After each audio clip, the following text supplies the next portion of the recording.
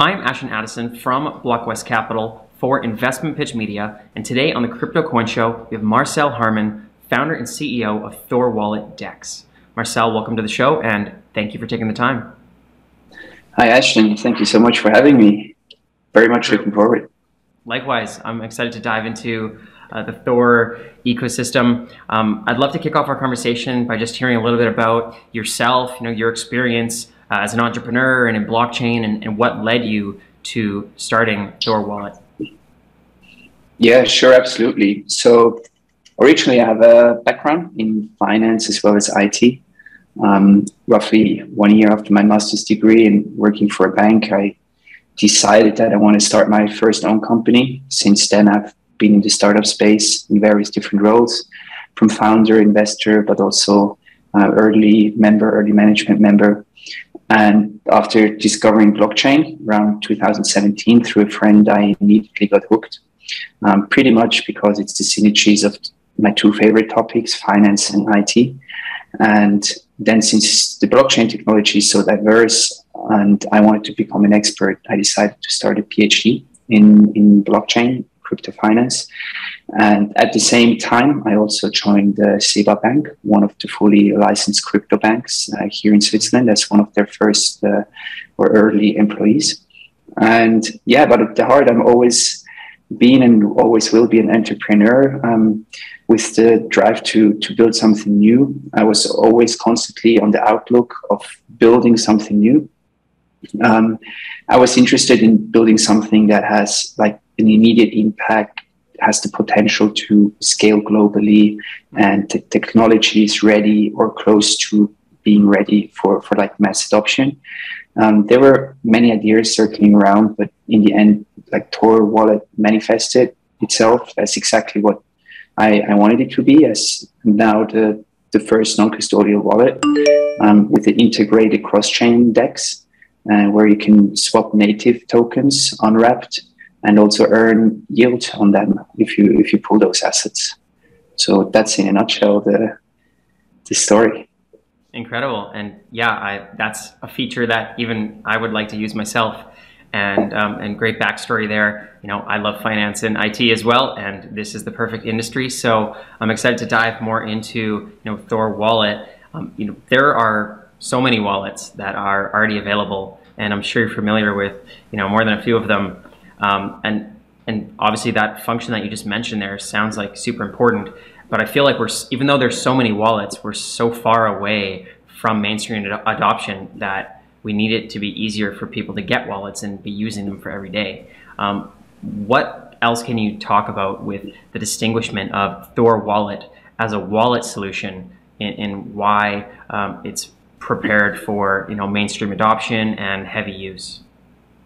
Yeah, absolutely. I think what what really distinguishes us is that, well, first of all, we're the only native iOS and Android app uh, in, let's say, the, the ThorChain ecosystem, but also um, the, the wider ecosystem or space um, that enables cross-chain DeFi. So you can swap native tokens from one chain to another, and the user does not need to care about wrapping or, or even know what it means and so on. And this is um, something very important also for, for mass adoption to, to make, make those things easy.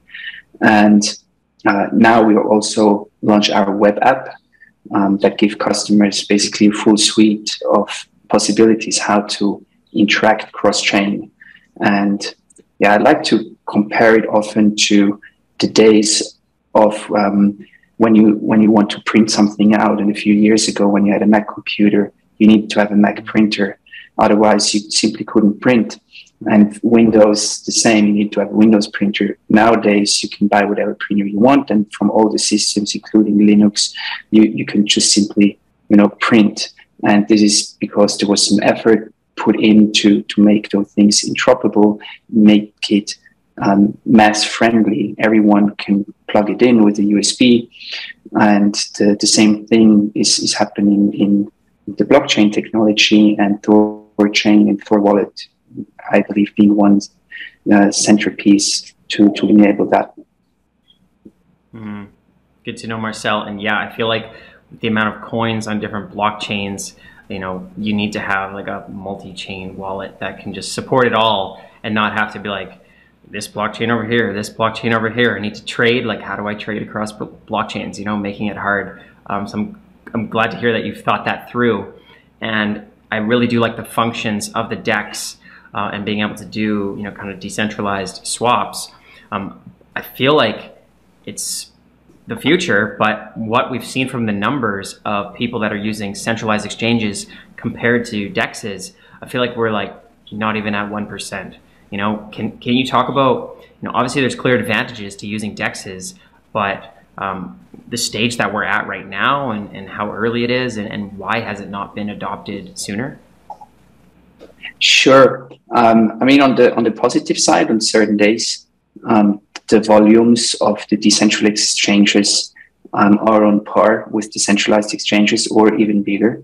Um, they do grow faster, um, which is also nice. So it's the fastest growing um, industry currently, the, the, DeFi sector, which is here to stay, not like just a hype.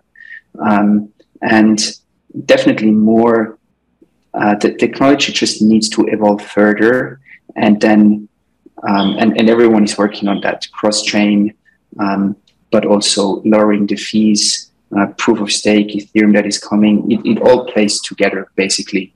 Um, and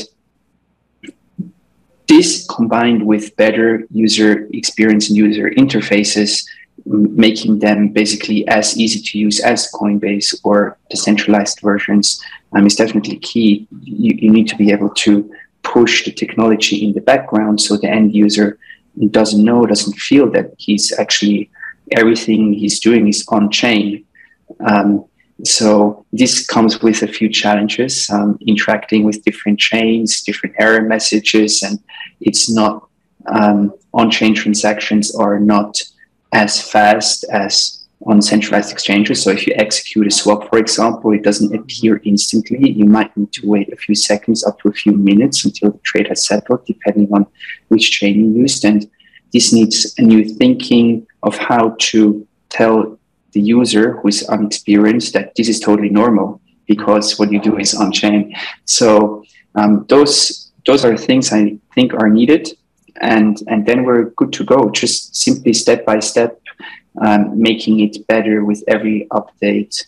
We come closer to, um, yeah, making it possible to, to onboard the mass to DeFi. Uh, maybe one last thing that comes to my mind is education. Mm-hmm. Um, it's ed- education is needed and it can be done in, in on various places within the app with learning uh, uh, just little blocks where, where they can learn um, how pooling works, what impermanent loss is, etc. Um, on the website, FAQs. Um, yeah, I, I, guess that's also needed to, to, to make them comfortable. Mm-hmm. Definitely, great point about the education. I feel like crypto is doing a good job uh, in trying to educate people or incentivizing them with you know learn to earn and giving them a little bit of tokens way more than the traditional financial industry ever did you know, they didn't really offer anything. They try to make it like a walled garden to make it sound hard to use, you know, when really crypto is trying to make it easy for everybody. So um, I agree with you there, Marcel. And you mentioned, you know, just continually making more updates uh, on the road to more mainstream adoption. I know that Thor Wallet Dex has like an extensive roadmap um, of things that your team is working on right now. Maybe you can talk about some of the major updates that you're focused on currently and, you know, throughout uh, the summer of 2022 and this year?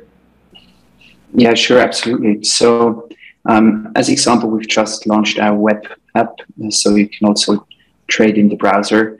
Um, we've launched with the core functionalities of swapping, but now build all the features we already have in the mobile application um, into the web application. So that's definitely a key focus. And um, what what is important there is the possibility to connect also your hardware wallet, your ledger. Um, so for for bigger trades, um, you might want to use uh, one of that. So this will be possible too. Um, what is also impossi- uh, po- important is that our token our own native token, uh, TGT, Thor Wallet Governance Token. Uh, you can use it for various things to unlock premium features like multi-wallet, but also reduce your trading fees. And then, of course, governance. Um, it's currently an ERC20 token. Uh, you need to stake it. Everything we do is DeFi, it's on-chain. So you need to stake it. Then we know that you um, are in a premium tier, community, community plus, we call it, then those features get unlocked. Um, that's pretty pricey. It can price out some people because of the, the high fees Ethereum has. So we're um, implementing or start to work on uh, getting on a layer two solution, for example, to, to enable better user experience that is faster and cheaper. Um, the same with um, we, we have different missions and uh, learn to earn or uh, those kind of things you you want to have that with low fees to to reach the masses right? Um, so that's definitely very very important. Um, then the switching between um, the mobile application and the web application that you really have this ecosystem feel um, and it automatically recognizes you welcome back and you you, you feel yourself at home, doesn't matter where you log in, um, but still being completely DeFi. So you, you actually do not have an account. You're as anonymous as it gets, obviously. Um, and uh, yeah, what we also announced is uh, fiat on off ramp. Um, I think it's pretty important. We, we have different tiers to a certain limit. You can, it's allowed to do without AML and KYC like a daily, monthly, and year, yearly limit. Above that limit, you need to do uh, AML optionally for those who want to on ramp or off ramp uh, more money. And uh, the long, in the long run, our vision is also to have our own uh, credit card, so you can really uh, spend your assets directly from a non-custodial wallet in, in the old traditional world. Wow, a lot of updates there, Marcel, and um, sounds really exciting. You mentioned there the the TGT coin, and you know having it currently on, on Ethereum. Um, I saw as part of the roadmap, you know, eventually not having that on Ethereum, and part of this Chaos Net or the, the Thor chain mainnet. Can you talk about um, that, and, and you know what's the timeline or what's important about that? Yes, um, after rigorous like bootstrapping and, and, stress testing, the transition from the Thorchain ChaosNet to mainnet is imminent. Um, and it marks like a crucial milestone for the development of cross-chain finance. Um, mainnet will be handed over, I would say, to the community um, with the network distributed across 100 nodes. Um, now anyone pretty much can empower themselves and, and experience true financial freedom through uh, Thor Wallet and, and Thorchain, every everyone who's is connected. Um, yeah, and and it's imminent. I would say that's the, the most important thing. Mm, very exciting, and you know, I'm sure that will also just bring more people in, make it easier, and grow you know the DeFi ecosystem with on Thorchain um, I was looking at you know comparing the different e ecosystems in DeFi, and I saw that you know the, the your guys' ecosystem has like 250 million TVL total value locked, um, but you know DeFi is going up and down with with the market sentiment over the last few months. Um, how do you uh, you know move through uh, this volatility in the market and, and try to continue to grow the DeFi ecosystem within Thor? Right. Um, I think Thorchain is a group of builders, and also we at Thor Wallet are really just focused on, on building. The, the market around us is volatile, and it's it's nice to watch a bull market, but it doesn't matter so much. We're just focused on building something and to make it last. And even uh, even a bear market or just on the tip of a bear market or whatever we are right now, it's not even a bad thing because you can fully concentrate on building, like put your head down and, and just keep on developing. And uh, this this is what Thorchain has done the last several years. And since we entered the ecosystem, we we basically have the same DNA regarding that. So um, it doesn't matter too much um, to us, like the, the total value locked. Um, of course, it's a metric that is very important, and you have um, the, the, better, the st- more stable, and the closer to the mainnet, um, the the more people trust the system and and lock their funds. Um, but this comes hand in hand with the continuous efforts to just build and uh, build it to last. And uh, I would say this is also the focus that we have going forward. And then the, the higher TVL is just the, the result that will come out of this. I'm, I'm quite sure of that. Yeah, I like that approach. And and I think you're right about you know just getting closer to the main net. Just build it, and they will come. You know, um, if you build it properly. So you guys focus on what you do best. Um, that, that that's great. And you know, and now Thor Wallet as a wallet.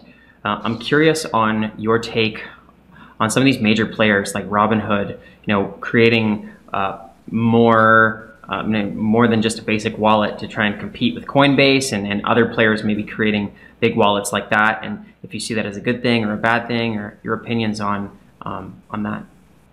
Yeah, I think it shows that the crypto space is maturing and still growing. Um, even like if we look at the global economy and we're maybe on brink of a global recession, but big corporates or big startups with big user bases make strategic decisions and bets on crypto, which is mm-hmm. overall just a very good sign um, because those are bets and, and decisions you discuss with the board. It's a long decision process. It takes a lot of funds to to build it and to roll out your plan.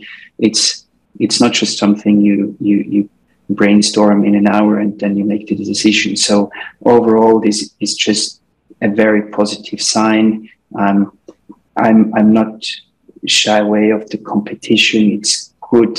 Um, it will further increase the adoption, basically, and that's all we want. Um, same with with education, competitors. Um, since the market is growing, um, and we're still so early, uh, there is a lot of, I would say, space for for competition. Uh, of course, eventually there will be a period of consolidation again, but that's uh, totally fine. Overall, I, I, think it's very positive, and I'm looking forward to it. Definitely, yeah, and you're right about this isn't a one-hour decision. You know, a lot of these large companies they have a very long-term uh, vision, and if they are adding crypto, that means that they believe it's going to be here for the long run, um, and, and they're planning for that. So it, it, does bring a lot of promise. And you're right, I don't think it's to be looked at as competition because everything helps uh, bring people into Web3 in the future of finance. Um, I'm curious on your uh, visions, Marcel, for you know the, the long-term vision of DeFi and, and multi-chain and, and how it will all work when you know TradFi and the mainstream is all involved. Right. I think my my vision slash also my hope, but I think we'll get there, is that we we can have an app um, as user friendly and easy to use as the current uh, CeFi apps or TradeFi apps. Um, you use them. You can simply download them with um, in the store with a mobile phone. You you do not need to register an account. You do not need to give your email address, whatever. it's completely mm-hmm. um, trustless, open. Uh, I mean permissionless. Um, everyone can use it um, and and transparent and the user does not need to know and doesn't know how everything in the back works. Right now i'm using macintosh here a mac laptop and um, i even though i studied it i don't know to every detail how everything works and this is also actually fine. Now we're using zoom um, and the same is there. So pretty much have just this new decentralized financial system that is built on the characteristics of blockchain, which again is open, transparent, uh, permissionless, um, and it can evolve next to the traditional financial system and eventually users can choose what they want to use, and uh, that the technology simply um, goes into the background and it, it just flawlessly works. And, and also DeFi, um, meaning any token to any token, uh, unwrapped. I'm personally not the biggest fan of bridges, um, but simply being able to try one token from one ecosystem to another token that maybe is on another ecosystem. And he, again, he does not need to understand how those tokens are transferred, but they, it just simply always works. It works fast, reliable, and uh, he has all the freedom to to choose uh, the service. And if he doesn't like the service because it's DeFi, he can simply get his seed phrase and get to another provider and try that one, right? Uh, so complete freedom to choose who you want to work with, who you trust. So yeah, that's that's pretty much my vision. Yeah, I like that vision, Marcel, and yeah, um, I know uh, freedom of choice is obviously a, a, great part of that, and I believe you know that's part of decentralized finance as the future. I'm looking forward to to getting to that point, and thankful that, that your team at Thor Wallet Dex is is a part of that vision and working to make it uh, reality. So um, for the people that are looking to you know start using Thor Wallet Dex and, and learn more about you know, this future DeFi vision that you have, what is the best way to uh, get started with using that and to join in the Thor Wallet Dex community? Sure. The, the simplest way is actually um, to either go on our website, thorwallet.org, or just go to your iOS or Google Play Store and download the app and give it a try. Have a look. If you like it, stick around. If not, uh, go go to another uh, wallet. That's fine too. Um, obviously, we hope that you like it. Um, we we also have a Discord server, Telegram. We're active on Twitter, um, all over the place, pretty much. Um, I'm sure if you're interested. Um, uh, we're always happy for feedback. We're always uh, listen to our community. Um, also, the premium features we develop um, are basically derived on the feedback we get. So, if we think something is missing or something we should improve, um, we will listen, um, and, and we are happy to to work on that. Great. Thanks, Marcel. I will leave those links as well for the viewers in the description box below to make it easy for them. Uh, all the best on all the updates you mentioned and, and moving towards the mainnet, and let's follow up in the near future. Awesome. Thank you so much.